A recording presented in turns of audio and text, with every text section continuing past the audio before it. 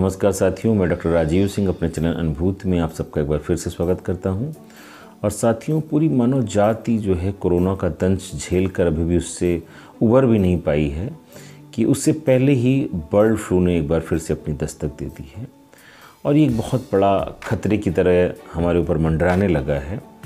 और भारत के विभिन्न हिस्सों से हम पक्षियों के मरने की जो खबरें आ रही हैं और एक ऐसा खतरा मंडरा रहा है कि कहीं ऐसा ना हो कि बर्ड फ्लू और ज़्यादा विकराल रूप धारण कर ले। पोल्ट्री इंडस्ट्री का बहुत बड़ा नुकसान हो रहा है। लोगों ने एग मीट वगैरह खाना कम कर दिया है या छोड़ दिया है।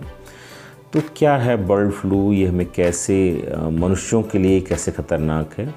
और जो खासकर हमारे पोल्ट्री फार्मर हैं, वो ऐसे वक्त में क्या करें? उनके लिए बड़ा टफ़ टाइम है कि उन्होंने अभी कोरोना का काल दे लग देखा है और उसके बाद अब ये बर्ड फ्लू के आने की वजह से उनका बिज़नेस जो है वो बहुत ही खतरे में है इस समय। तो आइए हम इस पर चर्चा करते हैं। वैसे तो इन्फ्लुएंजा की हिस्ट्री बहुत पुरानी है, इसने मानव जाति का बहुत नुकसान किया है। लेकिन जो इस समय बर्ड फ्लू का स्ट्रेन है एच फाइव एन वन ये 1996 में चाइना में सबसे पहली बार देखा गया और सत्तानबे में 1997 में हांगकांग में इससे जो है इसका जुनोटिक रूप देखने को मिला। इससे बहुत सारे मनुष्य संक्रमित हुए और जो 18 लोग इससे पॉजिटिव पाए गए थे, उनमें से छः की डेथ हो गई। तो इससे पता चलता है कि ये कितना ख़तरनाक है। और ह्यूमन में अगर ये हो जाता है मनुष्यों में तो इसमें 60 परसेंट मॉर्टलिटी। अगर 100 लोग इससे संक्रमित होते हैं तो उसमें से 60 की डेथ हो सकती है और पोल्ट्री में जो ये हाईली पैथोजेनिक एवियन इन्फ्लुएंजा का स्ट्रेन है एच फाइव एन वन इससे 50 से 100 परसेंट पूरा पूरा फार्म ही जो है, वो तबाह हो सकता है। तो पोल्ट्रीज़ में हम जब देखते हैं फार्म में तो मुर्गियों में क्या होता है, एक तो सडन डेथ होती है, अचानक जो है उनकी मौत हो जाती है हमें। एक बड़ी संख्या में मुर्गियाँ हमारी मरने लगती हैं कि रात में ठीक थी और अचानक उनकी मौत होना शुरू हो गई। अगर हम मुर्गियों का जो कॉम या वैटल देखें, जो कलगी और इसके ये जो लटकता हुआ वेटल होता है तो वहाँ पर उसका डार्क रेड कलर कलर हो जाता है ब्लूश कलर हो जाता है, स्वेल कर जाते हैं, उनके टिप्स पे हिमोरेज हो जाता है, इस तरह की चीज़ दिखाई देने लगती है। इसके अलावा कहीं भी जो फेदरलेस पार्ट है, जहाँ फेदर कम है, वहाँ पे हेमरेज दिखता है, वहाँ से पिन पॉइंट हेमरेज मतलब डॉट्स दिखते हैं, वहाँ से ब्लड के। तो ये दिखाई देने लगता है वो प्रोफ्यूज डायरिया भी हो सकता है, पानी जैसा डायरिया भी पोल्ट्री को हो जाता है। साथ ही साथ सुस्त हैं, ऐसा लगता है कि वो स्लीपी सो रही हैं, उनका सर जो है बिल्कुल ज़मीन पे गिरा हुआ है। इसके हम इन लक्षणों से इसको और बीमारियों से अलग कर सकते हैं। कई और बीमारियों में भी इस तरह के मिक्स सिम्टम्स आते हैं। इसके बाद अगर इसकी पुष्टि करानी हो तो इसमें उसकी नाक से, उसके क्लोएका से, यानी मल द्वार के हिस्से से, जिसमें थोड़ा सा मल लगा रह जाए, एक ग्राम के करीब फीसिस लगा रह जाए, वो सैंपल लिए जाते हैं और सीरम सैंपल भी लिए जाते हैं। और अगर इनकी पुष्टि करानी हो, अगर कहीं शंका होती है कि ये मृत्यु जो है कहीं बर्ड फ्लू की वजह से नहीं होती तो पूरी की पूरी बर्ड जो होती है, उसको पॉली बैग में रैप करके आइस पैक्स के बीच में रख के वैसे ही उसको लैब भेज दिया जाता है।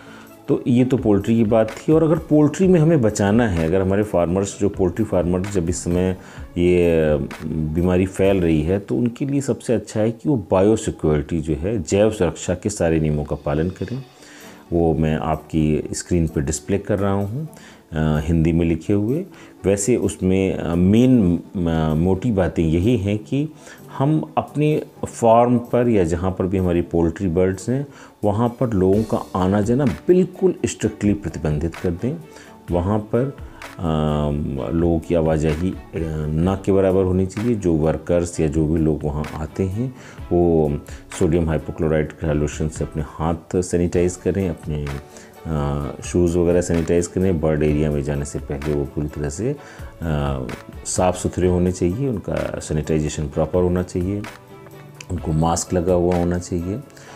और इसके साथ साथ जो है, जो स्लैक्ड लाइन है, चूने का छिड़काव हर तरफ़ होना चाहिए। कोई व्हीकल जो आता है, उसको भी सैनिटाइज़ करना चाहिए। और फार्म में भी तमाम विरोसाइडल ड्रग्स आती हैं। इस समय उनका स्प्रे करना चाहिए। जो कुछ एक पॉपुलर ड्रग में उसका आपको ये डिस्प्ले कर रहा हूँ। तो इनके डाइल्यूशन बनाकर आप उस पर स्प्रे करें, जिससे तमाम जो वायरस होते हैं, अगर वो इनसे आपका फार्म जो है, वो बचा रहे। अब बात करते हैं मनुष्यों में। मनुष्यों में एवियन इन्फ्लुएंजा का जो संक्रमण है, वो कहाँ से हो सकता है? क्या मुर्गा या जो हम बॉयलर खा रहे हैं, जो मीट खा रहे हैं मुर्गे का, या जो एग्स खा रहे हैं, क्या इससे हमें इन्फेक्शन हो सकता है? तो हमें जो है, इनसे इन्फेक्शन हो भी सकता है, अगर हम इन्हें हैंडल कर रहे हैं। जिस तरह से हम एक मीट लेकर आते हैं और उसकी सरफेस जो है वो हमारे हाथ के टच में आती है हम उसको इनहेल कर रहे हैं तो वहाँ से अगर वो बर्ड फ्लू संक्रमित है तो हमें इन्फेक्शन हो भी सकता है। ऐसे एग से या ऐसे पोल्ट्री बर्ड से जो ड्रेस्ड या अनड्रेस्ड स्टेट में है तो उससे हमें संक्रमण हो सकता है। और आ, लेकिन जो पका हुआ जो है मुर्गा या बॉयल्ड अंडा है या जो पका हुआ मुर्गा है, इससे इन्फेक्शन होने का कोई चांस नहीं है, क्योंकि बहुत ही कम टेम्परेचर पर जो है एनिमल इन्फ्लुएंजा वायरस जो होता है, वो डिस्ट्रॉय हो जाता है नहीं लेकिन सबसे ख़तरे में वो लोग हैं जो पोल्ट्री फार्म्स में काम करते हैं और वो लोग हैं जो बर्ड्स को ड्रेस करते हैं। बर्ड्स को ड्रेस करते हैं और उसके बाद उसके पंख और हर चीज़ के टच में आते हैं तो वो लोग इसके ज़्यादा कांटेक्ट में रहते हैं। एवियन इन्फ्लुएंजा या बर्ड फ्लू के मनुष्यों में जो लक्षण आते हैं, वो काफ़ी हद तक जैसे हमने कोरोना में देखे या किसी फ्लू के जो लक्षण होते हैं, वैसे ही होते हैं। कुछ लोगों को कंजक्टिवाइटिस हो जाता है रेस्पिरेटरी ट्रबल होती है अपर रेस्पिरेटरी ट्रैक्ट इन्फेक्शन के जैसे लक्षण होते हैं, वैसे होते हैं। और इसमें भी निमोनिया हो जाता है, जो कई बार रेस्पिरेटरी डिस्ट्रेस पैदा करता है। और मृत्यु की वजह बनता है। साथ ही साथ कई लोगों को गैस्ट्रो इंटेस्टाइनल यानी पेट की दिक्कतें भी आती हैं। जी खराब होना इस तरह के भी लक्षण आते हैं उसमें। तो कुल मिलाकर हम देखें तो जैसा एक टिपिकल फ्लू होता है, वैसे ही लक्षण आते हैं इसमें। कुछ इसमें अलग नहीं होता है। और अगर हम इसके उपचार की बात करें तो ओसेटामीवीर यानी टैमी फ्लू और जेनेमावीर यानी रिलेंजा ये दो ऐसी ड्रग्स हैं जो आ, लंबे समय से इसके उपचार में यूज़ हो रही हैं और इन्होंने बड़ा बढ़िया रोल प्ले किया है। तो जो भी लोग आ, इस संक्रमण से यानी बर्ड फ्लू के इन्फेक्शन से ग्रसित हो जाते हैं अगर तो जितना जल्दी अगर ये टेमी फ्लू और रिलेंजा लेना शुरू कर दिया जाए उतना ही बढ़िया रहता है। उतना ही उस आदमी की लाइफ बचने के चांसेस बढ़ जाते हैं और कम से कम पाँच दिन तक के लिए ड्रग दी जाती है। अब ये ड्रग कैसे काम करती है? तो जैसे कि अगर हम उसके वायरस के स्ट्रक्चर पर जाएँ वायरस के जो सरफेस प्रोटीन होते हैं, जिसमें हीमोग्लूटिनिन और न्यूरोमिनिडेज नाम के दो सरफेस प्रोटीन होते हैं तो ये न्यूरोमिनिडेज ब्लॉकर होते हैं और इस तरह से ये हमें इस वायरस के प्रकोप से बचाते हैं।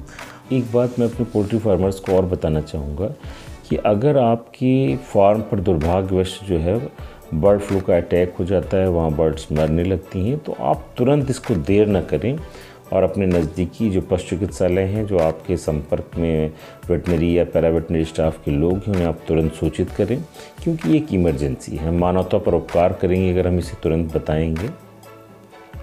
साथ ही साथ सरकार ने इस पर मुआवजे की भी रकम रखी है। अगर आपके पास बॉयलर या लेयर हैं तो इसमें मैं आपको वो रेट्स भी बता देता हूँ कि अगर एडल्ट्स हैं लेयर या गिनी फाउल तो आप नब्बे रुपया जो है उस पर प्रति बर्ड पर मिलेगा। इसी तरह बॉयलर पर आपको सत्तर रुपया जो एडल्ट्स हैं उस पर मिलेगा। डक या गीज़ हैं तो उसमें एक सौ पैंतीस रुपये और टर्की है तो उस पर डेढ़ सौ रुपये प्रति पक्षी पर इस तरह से मुआवजा मिलेगा। तो आप अपने जितने पक्षी आपके वहाँ फार्म से अगर मारे जाते हैं बर्ड फ्लू पैंडमिक रोकने के लिए तो उसका मुआवजा जो है सरकार की तरफ़ से दिया जाएगा। तो दोस्तों, आज के लिए मेरी जानकारी बस इतनी ही थी। अपने अगले वीडियो में अपनी किसी नई चर्चा के साथ फिर मिलेंगे। धन्यवाद।